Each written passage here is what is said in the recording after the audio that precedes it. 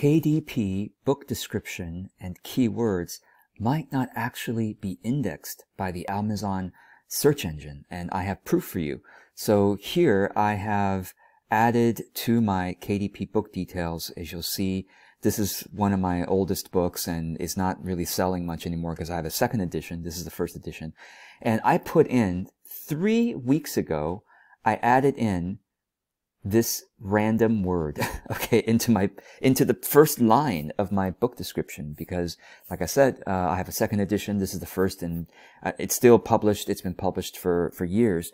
I changed it, uh, the description three weeks ago. This is a unique word. I use a random word generator to find that. Okay, so that's the first line of the book description. And then something else. The keywords, I put also a, a random word here. And uh, for, you know, I Googled these words uh, that I'm using and nobody's using this word anywhere on the internet. Well, let's go ahead and, and go to the Amazon search and see if it actually, okay, I'm going to paste in this word. Okay, results. Do I see my book? Nope. Okay, there's some sponsored things. I'm going to keep scrolling down. My book is nowhere to be found. And by the way, th this word is not nowhere in these products descriptions or titles either. And certainly not a keyword because like I said, it, it's, it's a keyword that I made up.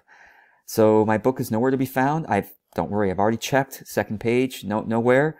If you, so this is, um, and the same thing is true with the keyword. I'll search it for you here. Oops, go, to, go back to Amazon, go up to the very top, search this here.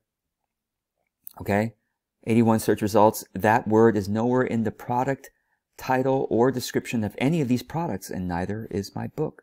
So what is going on? Those of you who think you know the Amazon search algorithm, explain this to me. That these keywords have been up for at least three weeks. I think it might have been four weeks since I've updated and republished the book about three, four weeks ago with those details. So let me know what you think is going on.